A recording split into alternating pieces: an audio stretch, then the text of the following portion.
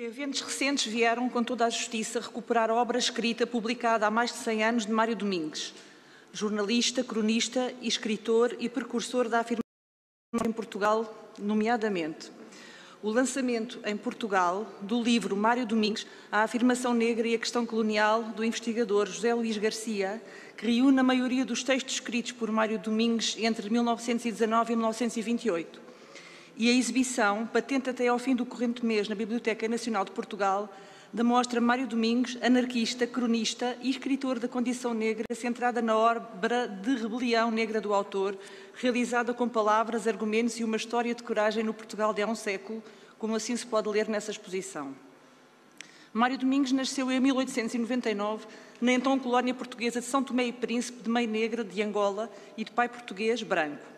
Já em Lisboa, para onde veio aos 18 meses e onde viveu naquela que é hoje a freguesia de Arroios, Tornou-se jornalista profissional e um profícuo cronista, tradutor e escritor, autor de uma multitude de novelas, romances policiais, peças de teatro e vocações históricas, entre outros géneros, assinando muitas das suas obras com vários pseudónimos, sobretudo ingleses e franceses.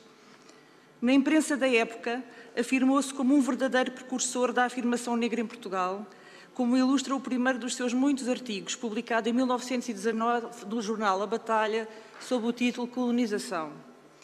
A sua obra, uma denúncia sobre a condição dos negros, o racismo e a colonização, em sintonia com o ativismo do movimento negro que já então despontava em vários pontos do mundo,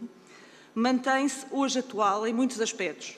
Nos artigos que regularmente publicava na imprensa da Primeira República Portuguesa, até à implantação do regime ditatorial do Estado Novo,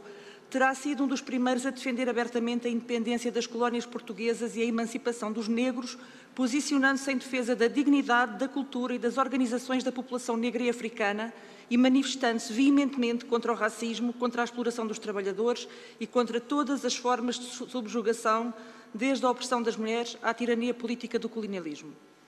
Toda a sua obra, única e muito à frente do seu tempo, apelando ao fim da segregação racial e das discriminações, do imperialismo e do colonialismo e à defesa da liberdade em África e dos direitos humanos dos negros, valores que o LIVRE é tributário, começa hoje a ser finalmente reconhecida como imprescindível para o conhecimento da história e da luta anticolonial e do racismo em Portugal.